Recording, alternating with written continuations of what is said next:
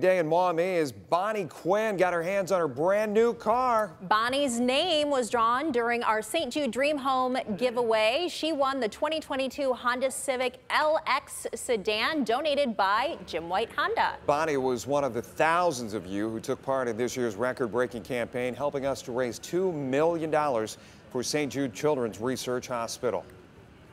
That thing had a bunch of bells and whistles. You guys both saw the car. You both got in it. We couldn't get Mel out of it. Yeah, it's not like yours now, Mel. Like It's, that. it's Bonnie's. You know what? I got a chance. She looks to- great in it. I made the call to Bonnie that night after we drew her winning ticket. She was in tears. She was in shock. I, I hope it's set in now because the real the reality of this program, people won some big prizes this year, and you're seeing uh, dreams come true right in front of your very Yeah, eyes. and they did win the whole prize. She didn't have a, a bill for, for taxes or anything. Jim White took care of that as well. Absolutely. Congratulations, Bonnie. You look awesome in that car.